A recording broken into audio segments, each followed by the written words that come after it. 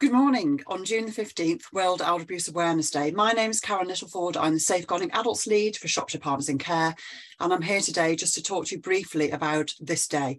It's really important that we have conversations about uh, the abuse of older people within our communities, because according to the United Nations, one in six people of 60 and above within the last year experienced abuse within community settings. And when we talk about abuse, there's a wide range of issues that somebody could experience. Some of those things could be around theft, they could be around physical abuse, psychological abuse. And when we talk about abuse, sometimes we also need to recognize that some of those matters may also be criminal instances, especially if you start to think about things like theft, physical assaults, etc.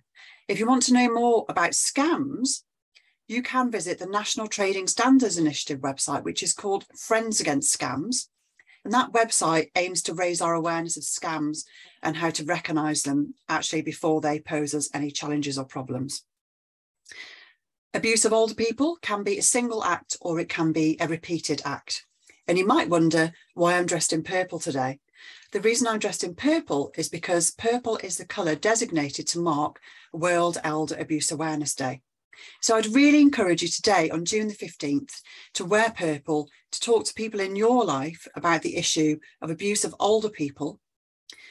And please mark this day. Thank you very much.